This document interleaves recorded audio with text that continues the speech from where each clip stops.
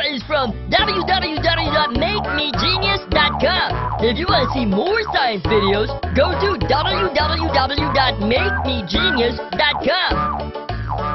Oh, yeah, it is free.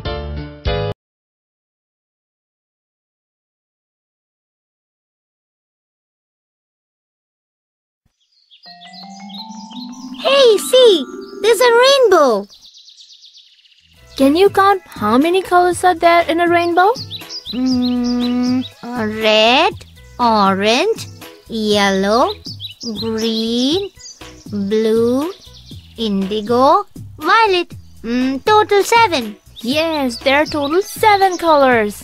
Hey, our sky has so many colors. Colors in rainbow. Seven. Red,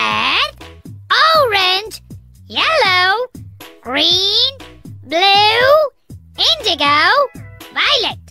Let me tell you a secret. What is the secret? The secret is that white light is made of these seven colors. Eh, eh. Secret! White light is made of seven colors. Hey, that means sunlight is made of seven colors. What is this? It is called prism. What we do with it?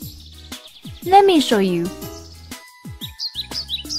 Oh wow! It's a rainbow in my hand. It's a magic. No, this is not a magic.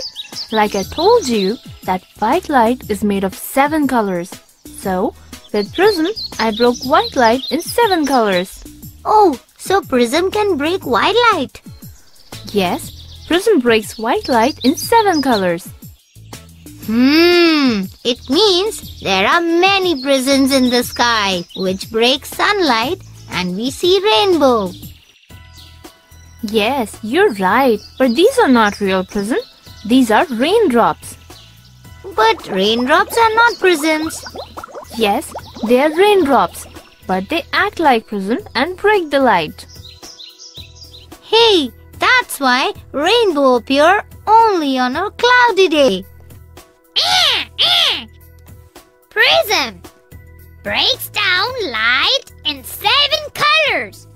On cloudy days, raindrops act like prisms and break sunlight, and we see rainbow.